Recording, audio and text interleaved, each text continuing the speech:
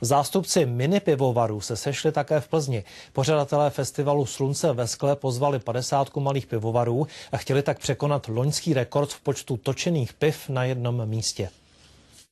Na první ročník festivalu dorazilo 12 mini pivovarů. Loňský druhý ročník se s 28 pivovary a více než 83 druhy točeného piva dostal do České knihy rekordů. Letos pořadatelé pozvali malé pivovary z celé České republiky a také z Německa. Tady máme hodně pivovarů ze severní i jižní Moravy a vzhledem k tomu, že někdo váží cestu sem přes 500 km druhou, tak si to skutečně považujeme. Malých pivovarů, které mají výstav od 200 do 3000 hektolitrů ročně, v Česku stále přibývá. Malí pivovarníci tak reagují na zvýšenou poptávku po netradičních pivech. Roste to.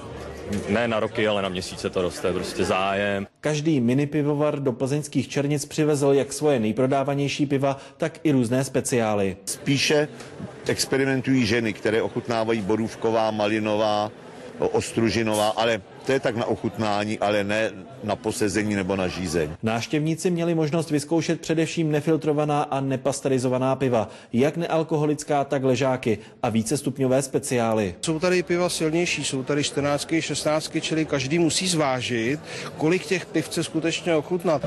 Tady super úplně. Žádný velký evropivovary, vždycky tyhle malí se snaží vyrobit dobré věci a zatím spokojenost. Rekordy na festivalu nakonec padaly. Do Plzně se sjelo 41 malých pivovarů a na jednom místě se točilo zhruba 120 druhů piv. Jan Dvořák, Česká televize, Plzeň.